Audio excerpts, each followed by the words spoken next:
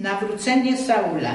Gdy Saul wyjeżdżał do Damaszku z listami upoważniającymi go do chwytania mężczyzn i kobiet głoszących Jezusa i przyprowadzenia ich związanych do Jerozolimy, otaczali go rozradowani źli aniołowie, lecz nagle oświeciła go światłość z nieba, powodująca ucieczkę złych aniołów, a jego powaliła na ziemię. Saul usłyszał głos mówiący: Saulu, Saulu, czemu mnie prześladujesz? Saul zapytał: Kto jesteś? Panie. A Pan odpowiedział: Ja jestem Jezus, którego ty prześladujesz. Trudno ci będzie wierzgać przeciwko ościerniowi. Drżący i pełen przerażenia rzekł: Panie, czego żądasz ode mnie? A Pan rzekł: Powstań i udaj się do miasta, tam powiedzą ci, co masz czynić. Mężowie, którzy z nimi byli, stanęli oniemiali, głos co prawda słyszeli, lecz nie widzieli nikogo. Gdy światłość znikła, a Saul podniósł się z ziemi, zauważył, że zupełnie utracił wzrok. Oślepił go blask chwały niebiańskiej. Chwycili go za rękę i zaprowadzili do Damaszku, gdzie trzy dni nie widział, nie jadł i nie pił. Wtedy Pan posłał swego anioła do pewnego męża, którego Saul chciał pochwycić, objawiając mu w widzeniu, że ma iść na ulicę, którą nazywają prostą i zapytaj w domu Judy o Saula Starsu. Oto właśnie się modli. I ujrzał w widzeniu męża imieniem Ananiasz, jak wszedł i ręce na niego włożył, aby przejrzał.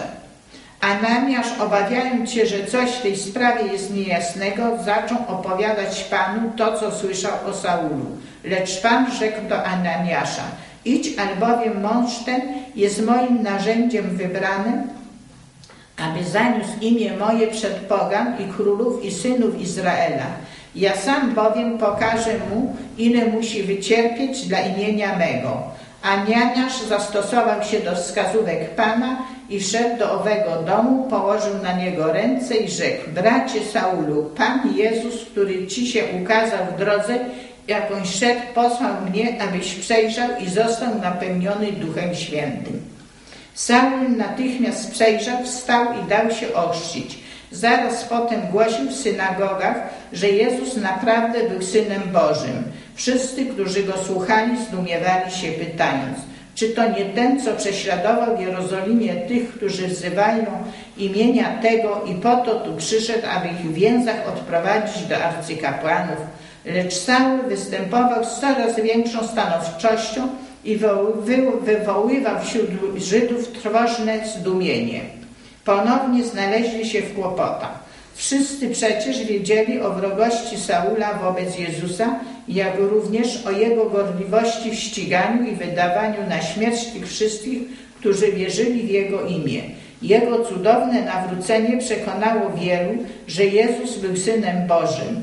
Saul opowiadał swoje doświadczenie w mocy Ducha Świętego Prześladował i więził wszystkich, zarówno mężczyzn, jak i kobiety i wydawał im na śmierć, gdy oto nagle w drodze do Damaszku otoczyło go otoczyła go niebiańska światłość i objawił mu się Jezus, pouczając go, że jest Synem Bożym.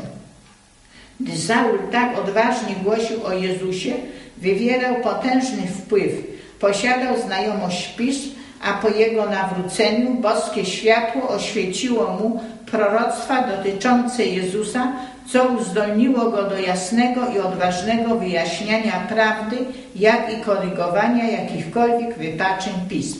Ponieważ spoczywał na nim Duch Boży, Saul mógł prowadzić swych słuchaczy w jasny i przekonujący sposób przez wszystkie proroctwa, aż do czasu pierwszego przyjścia Jezusa, i pokazać im, że wypełniły się już pisma dotyczące Jego męki, śmierci i zmartwychwstania. Dziękuję.